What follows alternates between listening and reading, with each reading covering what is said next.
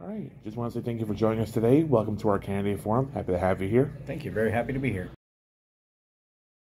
Uh, my name is Bryan Bobbitt. I'm a candidate for Brevard County Commissioner District 1.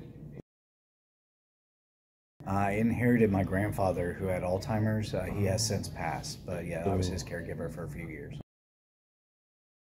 Uh, Titusville, uh, I've lived there for the majority of my life. I did spend some time in Atlanta and in the Army, but for the most part, Titusville has always been home.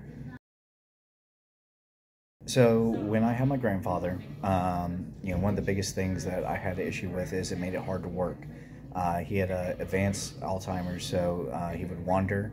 Uh, he would often repeat conversation after conversation, and it could be frustrating.